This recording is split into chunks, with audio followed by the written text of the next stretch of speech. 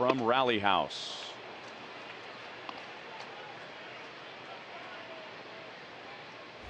Billy Butler is on deck. So if we get that far, he's going to bat for Eric Hosmer. Eric Hosmer's back out there. We know Hosmer has been able to play defense with his sore right hand, but Billy Butler was on deck as the Royals were batting in the bottom of the fifth in Hosmer's place. And of course, Hosmer is not out. Billy's not in until he is officially announced.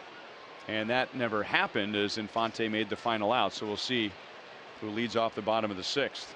Yeah, well, he, his swings have not looked good tonight.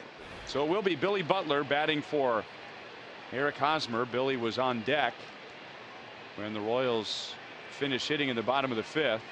He did not hit, so Hosmer went back out and played defense in the sixth, and now Butler takes over.